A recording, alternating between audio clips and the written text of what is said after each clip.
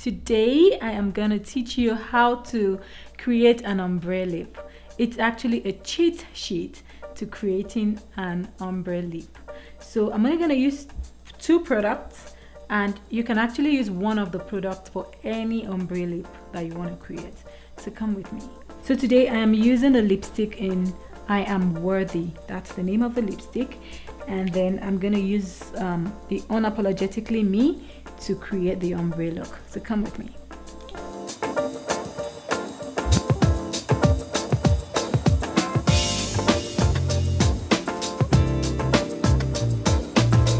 And now I'm going to use the Unapologetically Me lipstick and I'm just to put very little at the center of our lips.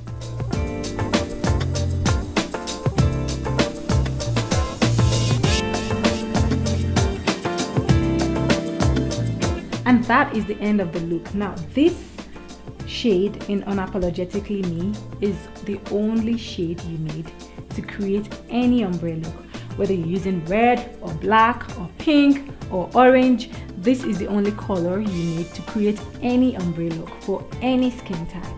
Um, I hope you really enjoyed this video and if you have any questions at all feel free to go on the blog adonya.com slash blog under this video, put in your comments and I'll be sure to answer your questions. Till my next video, remain beautiful. Bye!